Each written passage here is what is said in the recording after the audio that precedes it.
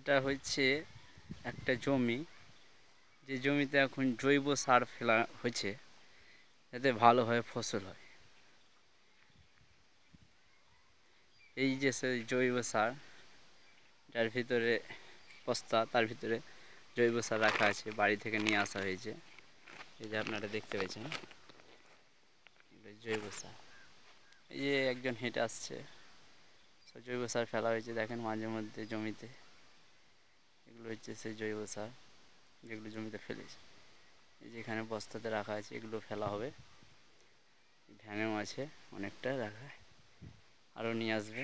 এই যে জেনে নিয়ে আসছে জৈব সার জমিতে ফেলার জন্য। এবার আপনাদেরকে দেখাচ্ছি জৈব সারগুলো। এটা হচ্ছে পাটের জমি, যেখানে পাট কাটা হয়েছে। এবার সেই জমিতেই এবার জৈব সার ফেলা হবে যাতে গম কিংবা ভুট্টা, যাই হোক, মুসুরি এইসব চাষ করা যায়। এই যে জৈব সার, আপনারা দেখতে পাচ্ছেন। এগুলো ফেলা হবে, ফেলা হয়েছে জমিতে। এগুলো কিছুদিন পরে ভালো ফসল হবে। এতে অনেক বিদেশি মুদ্রা বাঁচানো হবে, বাঁচানো যাবে। যদি কৃত্রিম সার এখানে ফেলা হতো, তো অনেক কম কষ্টতেই ফসল হয়ে যাবে, কিন্তু সেটা জমির পক্ষে ক্ষতি কিন্তু এই যে জৈব সার, এতে জমির খুব উর্বরতা বাড়ে এবং এতে দু তিনবার ফসল হতে কোনো অসুবিধা হয় না। এই যে দেখতে পাচ্ছেন, আপনারা জৈব সার পড়ে আছে মাঝে মধ্যেই।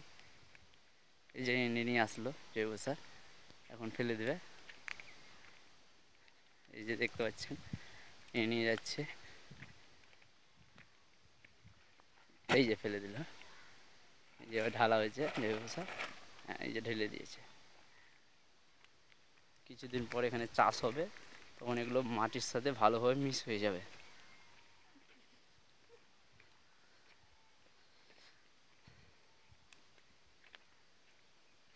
এরপরে আপনাদের দেখাবো কীভাবে এগুলো আবার মিস হয়। এই চ্যানেলটা যখন চাষ হবে, তখন আপনাদেরকে দেখাবো কীভাবে চাষ হয়েছে জমিটা। দিয়ে জমিতে এই গরিব জৈব সারগুলো পাইল হয়ে যাবে মিস হয়ে যাবে এক কথায়। তারপরে আপনাদের দেখাবো এই জমিতে কেমন ফসল হয়। পাশে অনেক জমিও আছে, সেগুলোর ফসল দেখবেন, আর এই জমির ফসল দেখবেন অনেক পার্থক্য হবে, কারণ এই জমিতে ফসল খুব তাড়াতাড়ি হয়ে যাবে, কারণ এতে জৈব সার ফেলা হয়েছে।